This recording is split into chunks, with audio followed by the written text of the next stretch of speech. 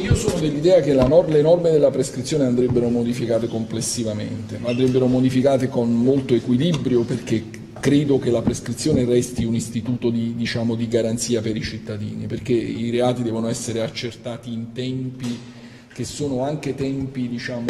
ragionevoli per evitare che i fatti non hanno più senso bisogna individuare un criterio che diciamo, in questo senso consente l'esercizio e l'individuazione dei reati. Lo, la legge che c'è, è stata approvata alla Camera, secondo me va nella giusta direzione perché consente una serie di meccanismi di recupero dopo le sentenze di condanna, perché molto spesso dopo una sentenza di condanna la prescrizione è una vera e propria beffa e lì bisogna evitare. Ma l'eliminazione della prescrizione secondo me non sarebbe un buon meccanismo perché rischierebbe di portare a condanne o a soluzioni i soggetti che sono ormai diversi da quelli che erano. E sulle intercettazioni?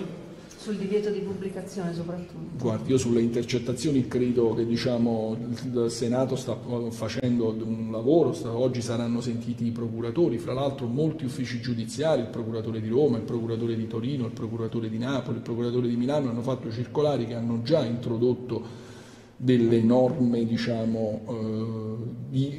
limitazione della pubblicazione. Io credo che ci può essere un problema che riguarda la pubblicazione, ma ovviamente non bisogna mettere in discussione l'utilizzo dello strumento che mi pare per fortuna in questo momento nessuno mette in discussione. Una legge seria,